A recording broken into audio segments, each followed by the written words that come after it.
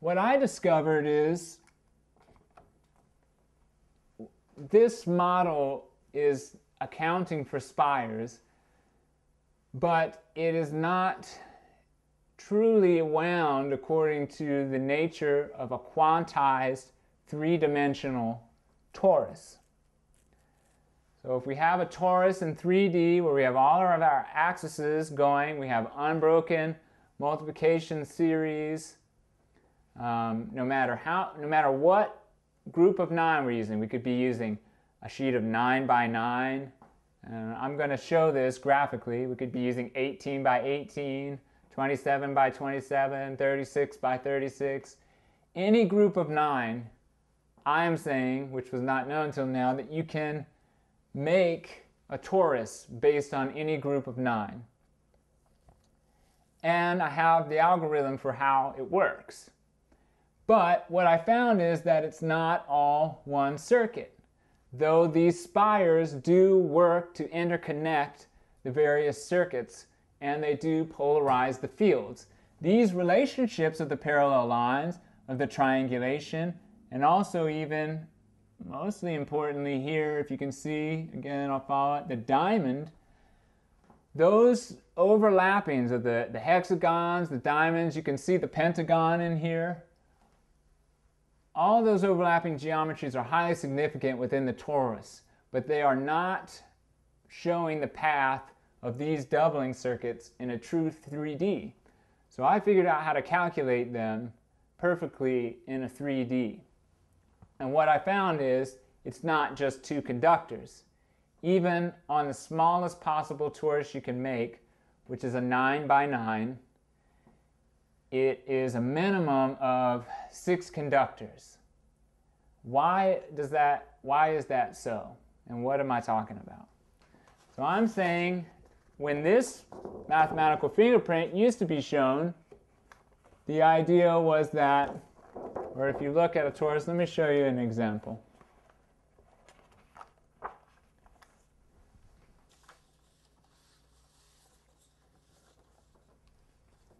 This may be a little confusing to look at, but if you can follow me on the colors here, I'll show you how the idea was, because this was actually an illustration I did to show how it doesn't work.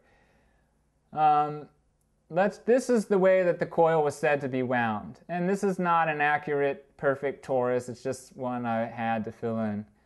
Um, I, so I would be having a wire coming in here.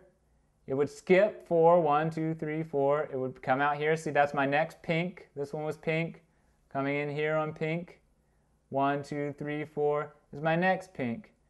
Then I'm going to switch to yellow.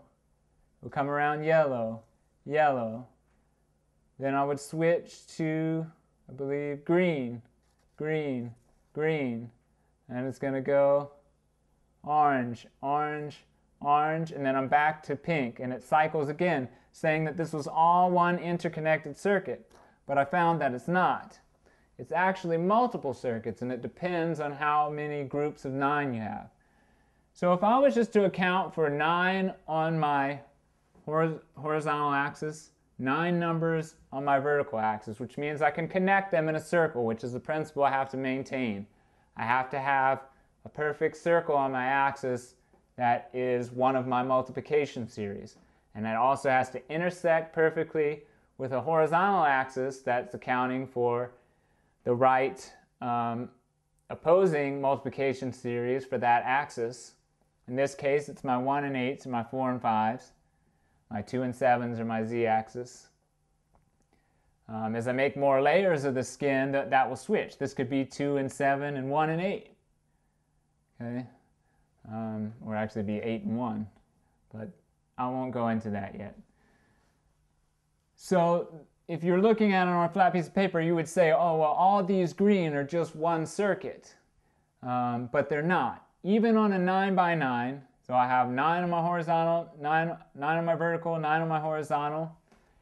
And I will have uh, also the negative numbers filling in between, which I believe is a total of 162 numbers for a 9 by 9.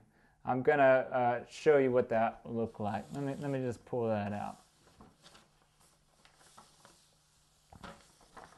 So this would be an example, and I'm going to explain to you what this is. This is very small, I know, but this would be a 9 by 9 torus.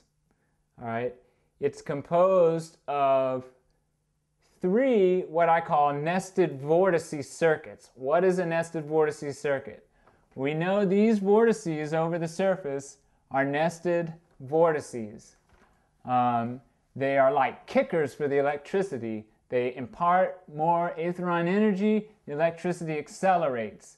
They're um, more axes for the uh, electricity to compress and decompress off of, or for any motion to work off of. Now, these nested vortices have to function with each other in a sequence, um, which is over the surface of this whole thing, which is, which is probably the most significant and complex aspect of vortex-based mathematics. I believe it's also the secret to the periodic table, which I'm beginning to model. All right. Um, so I'm saying that with a 9 by 9 torus, it's a minimum of three nested vortices circuits. So in other words, if it takes uh, a whole group of these to represent a nested vortices circuit, so this, these three right here would be one nested vortices circuit. Okay, this would be two, then three.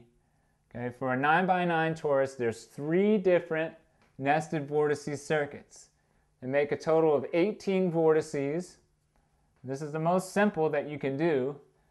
Uh, they're in three groups of six, so there's six of these. And you can assign a number to each of those vortices. So you can see these smaller diamonds in here are where I was putting my initial numbers, even though they're not written in here. These bigger numbers now that are written on are a number that goes for each nested vortice. But these sequences cannot occur if you only have two conductors. It's impossible and it doesn't, doesn't correlate with this torus. So one or the other has to be correct. This torus is showing that instead of the windings going round and round and round, as I showed in my other video, and you can see this on the advanced video, that this one's coming in here, it's coming out over here and connecting back to itself. So these are multiple circuits. Each one of these colors represents four different conductors, four different wires, which means in this model I have 12 wires.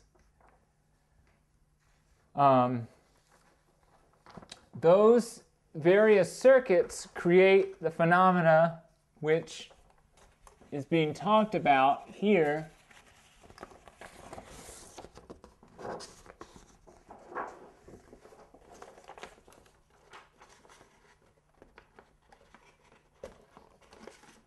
called spires. When you're going in this path or here like this, every time you cross back at a right angle, that's a spire. Um, so you're getting these polarized fields and you're getting these parallel lines, which we also saw in our initial symbol. We wanted to have those parallel lines. We wanted to have the triangulation. We wanted to have the essentially the hexagonal shape, this being a 24-sided polygon in the center. If you, this is just a, a 24-sided, you know, based on a hexagon. Um, so you have all your different geometries accounted for. So, so this would seem to be correct. But what's actually happening these spires are what we're talking about when we talk about these spirals over top. Here's my initial doubling circuits going in. Over top of that, I have these spirals, like this red one you see coming all the way over. And when you look at those spirals, it's kind of interesting because they look and they follow the metric of the spirals we see in nature and shells and the Fibonacci, uh, generally in vortex motion. So you, you can tell right away that there's something highly significant.